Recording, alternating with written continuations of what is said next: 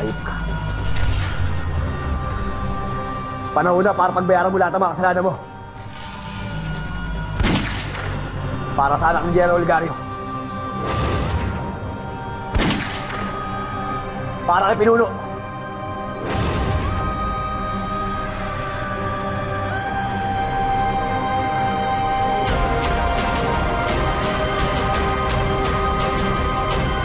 ito. Para sa anak ko.